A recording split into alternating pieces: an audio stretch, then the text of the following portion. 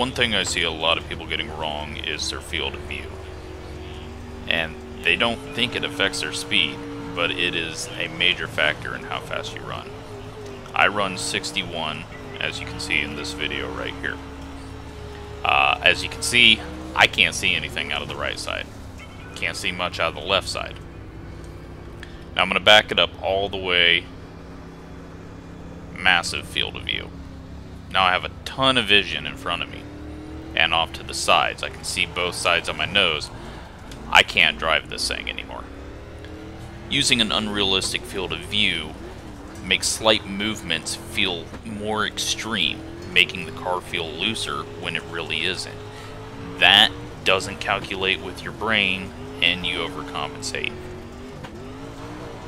This is why a lot of people I think are having issues coming into iRacing and even people that have been in iRacing for a long time. As you can see on this picture, I placed my monitor around what I normally see with my field of view. And if I was sitting in the car, that would be about how far away the monitor would be from me. You wanted to use the calculator in iRacing, and a lot of people use it and go, I can't see anything anymore. But if you look at this picture, cut away, put the monitor about the distance it is from me in real life in the car, and you can see there isn't much visibility.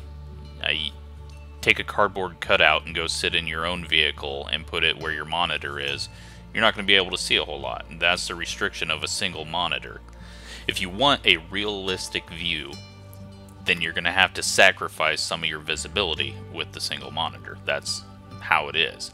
If you start stretching it and compacting everything into a tighter space and not moving your monitor forward or backwards, you're going to have an issue with driving. It's just that simple. Most people have their monitors too far away to begin with, and therefore their field of view calculator is very, very small. Move your monitor as close as you possibly can, remeasure, calculate, and stick with the calculations. Give it some time, practice, you're going to definitely feel like the vehicle's a lot tighter. Uh, this is going to help you out on dirt and paved tracks. Most likely people that are running too large a field of view on paved tracks are having to run really tight setups, only slowing them down more. Hopefully this helps. You can gain some speed and control.